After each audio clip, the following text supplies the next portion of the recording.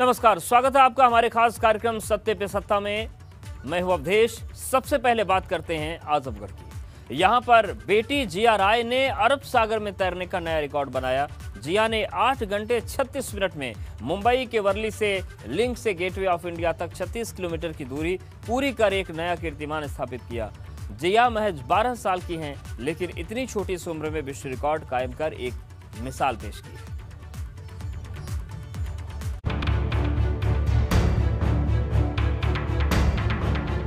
पढ़े बेटिया, बढ़े बेटिया और नए कीर्तिमान स्थापित करे बेटिया। ऐसा ही कुछ कर दिखाया है आजमगढ़ की बेटी दिव्यांग जिया राय ने।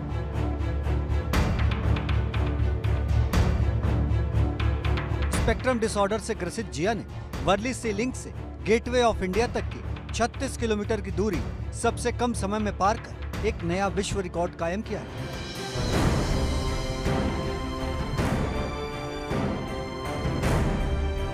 महाराष्ट्र तैराकी संघ की तरफ़ से आयोजित इस प्रतियोगिता में जिया ने सुबह तीन बजकर पचास मिनट पर तैराकी शुरू की। धुन की पक्की और मज़बूत इरादे के साथ जिया लगातार आठ घंटे छत्तीस मिनट तक तैरती रही और गेटवे ऑफ़ इंडिया पर पहुँचने के साथ ही जिया ने एक नया कीर्तिमान स्थापित कर दिया। जिया के इस कीर्तिमान से आज पूरा परिवार और पूरा गाँव बेहद खुश है। तो मैं तो पहले उसको शुभकामना मेरी तरफ़ से है। और मैं हर बच्चों को यही कहना चाहूँगा कि उसको देख करके हर बच्चे जो है उसी तरीके से आगे बढ़ें। बहुत बड़ी खुशी की बात है। और ये दूसरी या तीसरी मर्तबा है। हम लोग हम लोगों को पता चला है। बहुत बड़ी अचीवमेंट है। उसके लिए बहुत बहुत बधाइयाँ हैं। जिया इससे पहले भी कई रिकॉर्ड स्थापित कर चुकी है। 15 फरवरी 2020 को एलिफेंटा द्वीप से गेटवे ऑफ़ इंडिया के बीच 14 किमी की दूरी को मात्र तीन घंटे 27 मिनट में तय कर जिया विश्व रिकॉर्ड बना चुकी है। जिया समंदर में 14 किलोमीटर की दूरी तय करने वाली सबसे कम उम्र की सबसे तेज तैराक मानी जाती है। वही Guinness book of world record में जिया राय का नाम दर्ज है। जिया के पिता नेवी ऑफिसर मदन राय आजमगढ़ की सगड़ी तहसील के गाँव अली मुद्दीनपुर के रहने वाले हैं और अपनी पत्नी और बेटी जिया के साथ मुंबई के कुलाबा में रहते हैं। दिव्यांग जिया बचपन से ही स्पेक्ट्रम डिसऑर्डर से ग्रसित है। लेकिन नेवी में नियुक्त उनके पिता का उन्हें हमेशा साथ मिला। पिता के साथ ही पूरा परिवार समय समय पर जिया को आगे बढ़ने का हौसला देता रहा। नहीं हमारे सारे साथी मित्र लोगों ने शाबाशी ही दी कि उसको और आगे बढ़ने दो। आप बच्ची का कोऑपरेट करो। सारे लोगों ने वेलविश ही किया। किसी ने होपलेस करने वाली बात नहीं कही। जिया की सफलता से आज पूरा परिवार खुश है और उनका मानना है कि लड़कियों को पढ़ाई के साथ साथ हर क्षेत्र में अपना परचम लहराना चाहिए। एबीपी गंगा के लिए, आजमगढ़ से, खुर्रम नुमानी की रिपोर्ट। कहते हैं कि कुछ कर गुजरने का जज्बा और हौसले बुलंद हो तो नामुमकिन भी मुमकिन हो सकता है। गोरखपुर के किसान के बेटे ने छोटी उम्र में ही वो बड़ा काम कर दिया, जिससे गाँव के युवाओं के लिए वो प्रेरणा स्रोत बन गया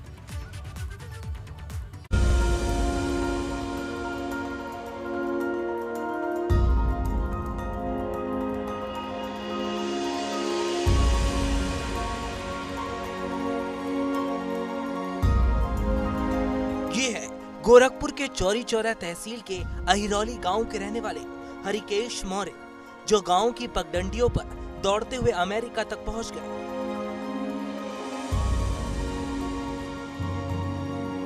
साल 2017 में हरिकेश ने अमेरिका में आयोजित हाफ़ मैराथन में दूसरा स्थान हासिल किया था तो उस वक्त वहाँ उन्हें स्कॉलरशिप मिल गई। तभी से वो अमेरिका के टेक्सास में हैं और ओलंपिक की तैयारियों में जुटे हैं। इस बीच उन्हें कीनिया नाइजीरिया जैसे तमाम देशों की यात्रा की और इस दौरान उन्हें दूसरे देश से खेलने का ऑफ़र मिला। लेकिन हरिकेश का सपना है कि साल 2021 के ओलंपिक में भारत के लिए स्वर्ण पदक हासिल कर सके। इसलिए उन्होंने सारे ऑफ़र ठुकराकर इस समय अमेरिका में 2021 ओलंपिक की तैयारी कर रहे हैं। अमेरिका से भेजे गए वीडियो संदेश में हरिकेश ने बताया कि उनका सपना है कि एक दिन वो देश के लिए स्वर्ण पदक ला सके। मेरे लिए बहुत शान की बात होगी, देश के लिए बहुत शान की बात होगी। और वो तिरंगा लेकर लिए मैं अपने सीने पर, मैं भारत के लिए गोल्ड जीत सकूँ। कोरोना महामारी में जब हालात बदले तो हरिकेश को अमेरिका से मिलने वाली स्कॉलरशिप भी बंद हो गई और उनके सामने एक बड़ी मुश्किल खड़ी हो गई। तब उनके सपने को पूरा करने के लिए उनके पिता ने खेत बेचकर हरिकेश को साढ़े छह लाख रुपए भेजे। लेकिन उन्हें इस बात का मलाल है कि सरकार की ओर से उन्हें कोई भी मदद नहीं मिली। हम मंत्रियों के पास, तमाम विधायकों के पास दौड़े, लेकिन कोई जो है सहयोग करने के लिए कोई तैयार नहीं था। इसलिए मजबूर होकर के जो अपना खेत हम बेच दिए हरिकेश मौर्य 15 साल की उम्र में मैराथन के धावक है। महज 14 साल की उम्र में हरिकेश साल 2010 में मुंबई ऑफ़ मैराथन में भाग लिया था। साल 2011 में 40 किलोमीटर इंटरनेशनल मैराथन में नंगे पैर दौड़कर उन्होंने पांचवा स्थान हासिल किया था। जबकि साल 2015 में उसने नेशनल गेम्स में चौथा स्थान। तो वहीं साल 2015 में ही असोम में हुई 10 किलोमीटर मैराथन में विजेता बन अपनी प्रतिभा का लोहा मनवाया था। लेकिन हरिकेश के लिए ये सब इतना आसान नहीं था। घर छोड़ने के बाद हरिकेश ने संघर्ष का एक लंबा दौर रखा।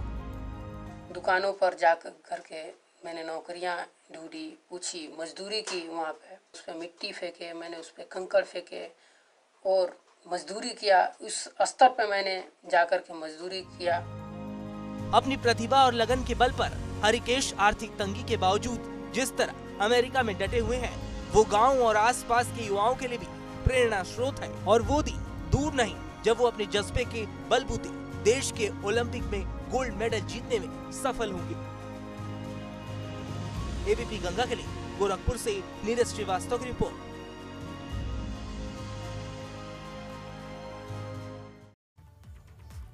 आज राष्ट्रीय विज्ञान दिवस है ऐसे में हम आपको मिलवाते हैं गोरखपुर के युवा इंजीनियर से, जिसने अपने आविष्कारों से सभी का ध्यान अपनी तरफ़ आकर्षित किया है। युवा इंजीनियर राहुल सिंह ने एक ऐसा ड्रोन तैयार किया है, जो किसानों से लेकर जवानों तक के लिए बेहद उपयोगी साबित होगा।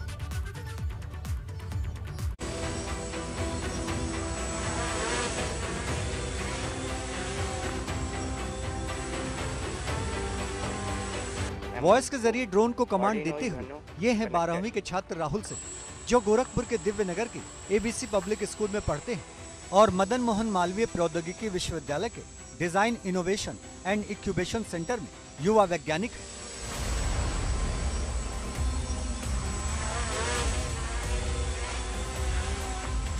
राहुल ने बेहद कम कीमत में एक ऐसा ड्रोन तैयार किया है जो खेतों में दवा का छिड़काव करने में किसानों के लिए बेहद उपयोगी साबित होगा। तो वहीं बाढ़ और भूस्खलन में फंसे लोगों की जान बचाने के लिए सेना के जवानों की मदद में भी कारगर होगा। इस ड्रोन की खासियत ये है कि ये समंदर से लेकर नदी तक की गहराई नाप सकता है। कम कीमत के चलते राहुल ने इस ड्रोन का नाम लो कॉस्ट ड्रोन रखा है। जिन पौधों को जितनी दवा स्प्रे करना होगा, उतना ही देगा। उसमें ना ही कि जैसे कि जितना पौधे को ज़रूरत होगा, उतना ही दवा देगा। ड्रोन बाढ़ में अगर जाएगा तो फिर उसमें जितने लोग फंसे होंगे, उनके फ़ोटो सहित और उनका लोकेशन, करंट लोकेशन हमको क्यू के ज़रिए मैसेज करेगा। हम उसको क्लिक करेंगे। आसानी से हम देख सकेंगे कि हमारे इतने लोग यहाँ पे फंसे हैं। तो सेना को हम भेज सकेंगे, बोट के ज़रिए फिर उनको आसानी से निकाल सकेंगे। Low cost drone remote system से संचालित होता है। वहीं ड्रोन को वॉयस सिस्टम से भी कनेक्ट किया गया है, जिससे किसानों को इसे संचालित करने में दिक्कत न होने पाए। इसकी सबसे खास बात यह है कि अलग अलग भाषाओं को भी समझ सकता है। ऐसे में किसान हिंदी और भोजपुरी भाषा में ड्रोन को कमांड दे सकेंगे। किसान तो चला नहीं पाएगा, वो पढ़ा लिखा है नहीं। तो हमने उसमें एडवांस फ्यूचर डाला एयर ट्रैफ़िक कंट्रोलर प्रोग्राम, जो मिशन प्लानर के तहत हमारे वॉइस से वो ड्रोन उड़ सकता है, भोजपुरी और हिंदी लैंग्वेज। अभी इंग्लिश इंक्लूड कर रहे हैं इसमें। युवा इंजीनियर राहुल सिंह, इसके पहले भी बैटरी से चलने वाली और खुद से चार्ज होने वाली बाइक, ट्रैक्टर और रोटी मेकर बना चुके हैं और लगातार तीन सालों से अंतर्राष्ट्रीय विज्ञान प्रदर्शनी में प्रथम स्थान प्राप्त कर रहे हैं। लेकिन नए नए आविष्कारों को ईजाद करने का राहुल का सिलसिला रुका नहीं है और आज भी अपने वैज्ञानिक शोधों में जुटे हुए हैं। एबीपी गंगा के लिए गोरखपुर से नीरज श्रीवास्तव की रिपोर्ट।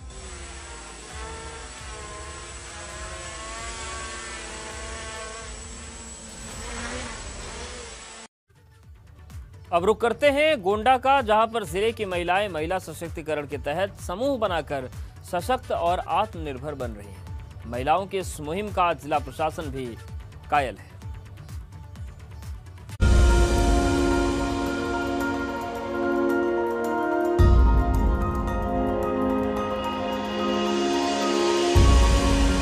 कोरोना काल में लॉकडाउन के दौरान जब लोगों के रोज़गार छूट रहे थे ऐसे समय में गोंडा के झजरी ब्लॉक के चंदवतपुर गाँव की रहने वाली महिलाएँ आगे आईं और समूह बनाकर न केवल तरह तरह के उत्पाद बनाए, बल्कि उनको बाज़ार में बेचकर आर्थिक रूप से आत्मनिर्भर भी बने।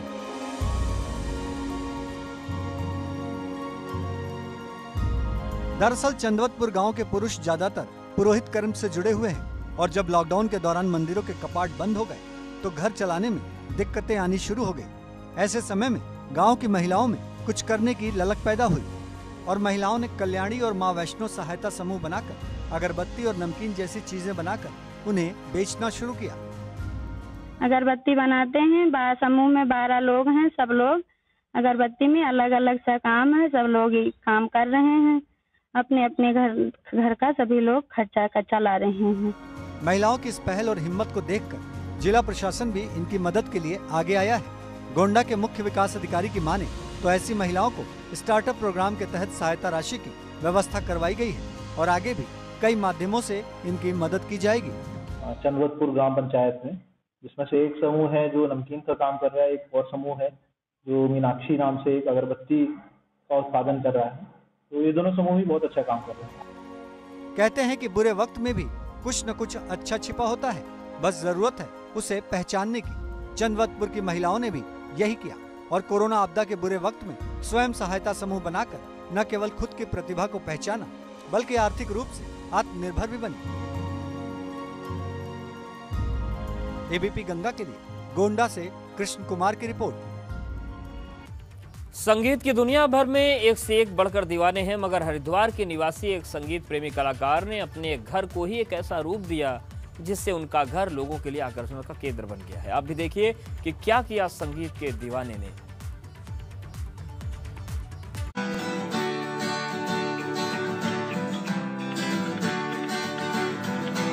यूँ तो गीत संगीत हर किसी को लुभाता है, लेकिन हरिद्वार के रहने वाले राहुल अरोड़ा की तो मानो इसमें जान बसती है।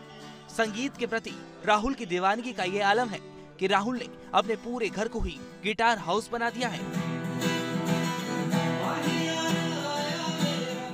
युवक राहुल ने न केवल अपने घर के बाहर के हिस्से पर एक विशाल गिटार बनवाया है, बल्कि घर के भीतर का लुक भी संगीत के थीम पर है।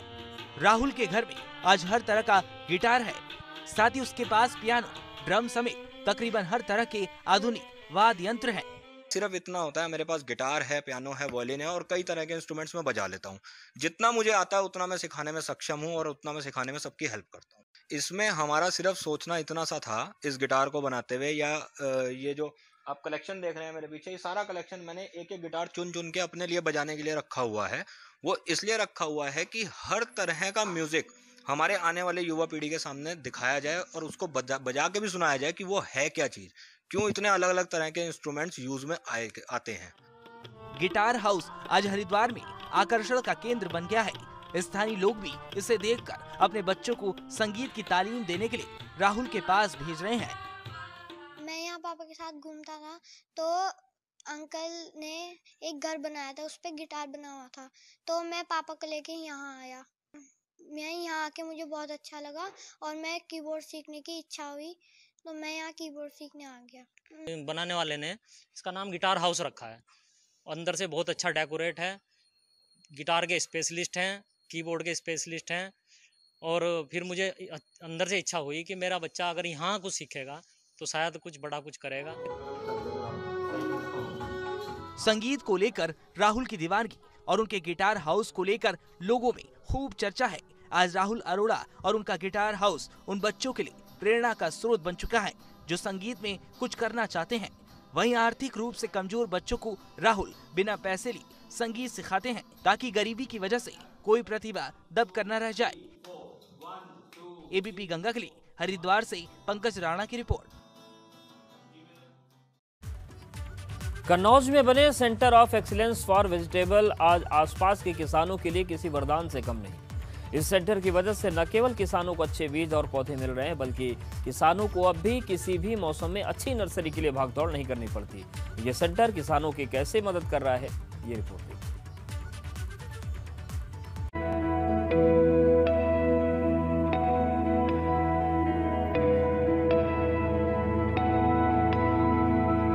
भारत इजराइल कृषि परियोजना के तहत कन्नौज के उमरदा में बन रहे centre of excellence for vegetable आज किसानों की आय दोगुनी करने, पीएम मोदी के सपने को साकार करने में एक मील का पत्थर साबित हो रहा है।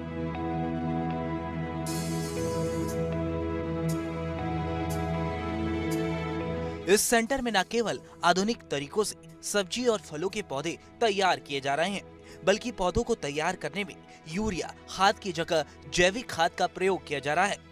जिससे शुद्ध और पौष्टिक पैदावार मिल ही रही है। साथ ही किसान सेंटर से पौधे लेकर लागत से तीन गुना लाभ कमा रहे हैं। ओपन फ़ील्ड में उसने डाला है तो कहीं पानी बरस गया, कहीं कुछ हो गया तो वहाँ पे उसकी पौध मर जाती है। यहाँ पे उसको बिल्कुल तैयार पौध मिलेगी, वो सीधे अपने खेत में प्लांट करता है। इस तरीके से वो सीधे वो एक महीना अपने खेत में पौध को आगे पहुँचा देता है। अगर वो एक महीना आगे निकल गया तो उसको ज़ाहिर सी बात है कि मार्केट में अपना उत्पाद एक महीना अर्ली बेचेगा उसको रेट अच्छा मिल जाएगा। वहीं सेंटर में पौधे लेने आए किसानों की माने तो सेंटर में रोग रहित पौधे मिलते हैं जो खेतों में जल्द तैयार होकर सब्जियों और फलों का उत्पादन करने लगते हैं जिससे उनकी आय में दो गुना से ज़्यादा बढ़ोतरी हुई है। समय से पहले अगर फ़सल पहुँच जाती है खेत बाजारों में तो हमसे तीन से चार पाँच गुना तक हमको अधिक पैसे मिलते हैं इस चीज़ पौधा हमारा जमा जमा मिलना मिलने से जल्दी पौधा तैयार हो जाता है अच्छी फ़सल मिलती है अच्छा प्रोग्रेस हो जाता है। आज centre of excellence for vegetable से न केवल किसानों को फ़ायदा हो रहा है, बल्कि बेरोजगारों को यहाँ रोज़गार भी मिल रहा है। सेंटर से काम करने वाली महिलाओं ने बताया कि घर का खर्च नहीं चलता था, लेकिन यहाँ महीने में पाँच हज़ार रूपए मिल जाते हैं। उससे उनका अच्छा गुजारा हो रहा है। एबीपी गंगा के लिए कन्नौज से नित्या मिश्रा की रिपोर्ट। इंसान की धर्म में आस्था अक्सर उसे, उससे कोई न कोई गलत काम करने से रोक देती है और कभी कभी आस्था पर्यावरण संरक्षण में एक बड़ी भूमिका निभाती है। ऐसा ही कुछ वाक्य देखने को मिलता है गाजीपुर जनपद के सोनहरिया जंगल में, जहाँ के ग्रामीण अपनी आस्था के चलते इस जंगल में न तो कई पेड़ काटते, न इस जंगल से लकड़ियाँ ले जाते और इसकी वजह से ये जंगल हमेशा हरा भरा बना रहता है।